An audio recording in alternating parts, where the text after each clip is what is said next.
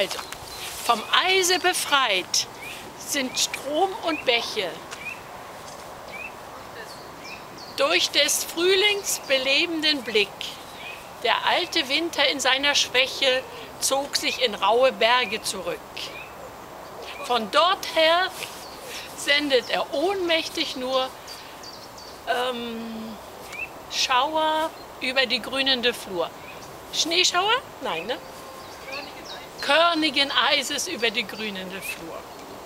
Und es geht weiter mit dem Frühlingswerden. Ohne mich.